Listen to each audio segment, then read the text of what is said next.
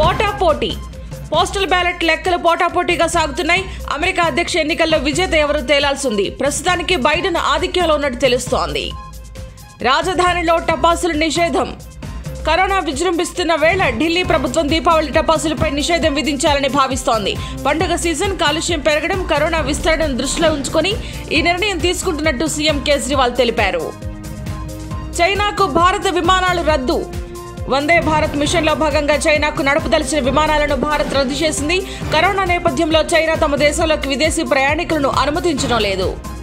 ఏపీలో రెండు రోజుల పాటు వర్షాలు. ఆగ్నేయ బంగాళాఖాతంలో ఉపరితల ఆవర్తనం కొనసాగుతోంది. కోస్తాంధ్ర రాయలసీమ ప్రాంతాల్లో తేలికపాటి నుంచి భారీ వర్షాలు కురిసే అవకాశం ఉందని వాతావరణ శాఖ పేర్కొంది. ప్రజా సంకల్పానికి మూడేళ్ళు. ప్రజల కోసం మూడు వేల కిలోమీటర్ల పాదయాత్ర చేసి అఖండ విజయాన్ని సొంతం చేసుకున్నారు వైఎస్ జగన్.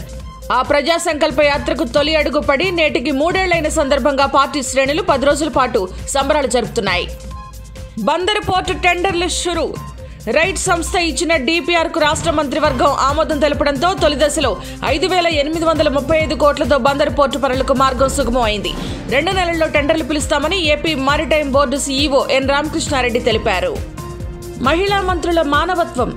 ఏపీ హోంమంత్రి మరో మంత్రి తానేటి వనిత కాన్వాయ్లో వెళ్తున్న సమయంలో రోడ్డు పక్కన ప్రమాదానికి గురైన వ్యక్తిని చూశారు. వెంటనే ఆగి అతన్ని తమ వాహనంలో ఎక్కించి ఆసుపత్రికి తరలించి తమ మానవత్వాన్ని చాటుకున్నారు.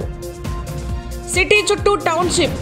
మహానగరం హైదరాబాద్ చుట్టుప్రక్కల కొత్త పట్టణాలను నిర్మించి పట్టణ వికేంద్రీకరణ చేసేందుకు తెలంగాణ కాంప్రహెన్సివ్ ఇంటిగ్రేటెడ్ టౌన్షిప్ పాలసీని తీసుకొచ్చింది. నివాస వాణిజ్య వ్యాపార కార్యాలయాలు సముదాయాలుగా ఈ నగరాలు ఉండబోతున్నాయి.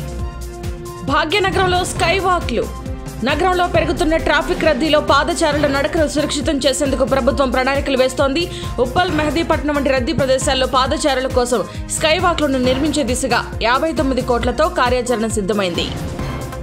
ఏపీ బాటలో హర్యానా. ప్రైవేట్ రంగంలో స్థానికులకు డెబ్బై ఐదు శాతం రిజర్వేషన్ కల్పిస్తూ హర్యానా శాసనసభ చట్టం చేసింది. మొదటగా పదేళ్ళ పాటు ఈ కోటాను వర్తింపజేస్తారు.